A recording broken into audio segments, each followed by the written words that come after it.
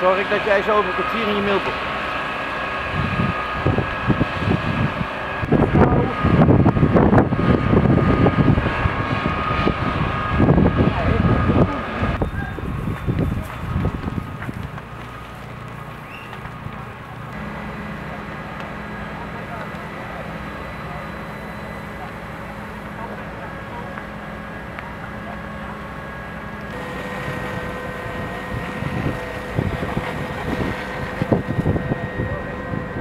Goedemorgen, ik sta hier met de heer Renkens eh, van de brandweer. We staan hier bij een brand. Kunt u daar iets meer over vertellen? Ja, we staan hier eh, in Warnsveld aan het Bongerspad.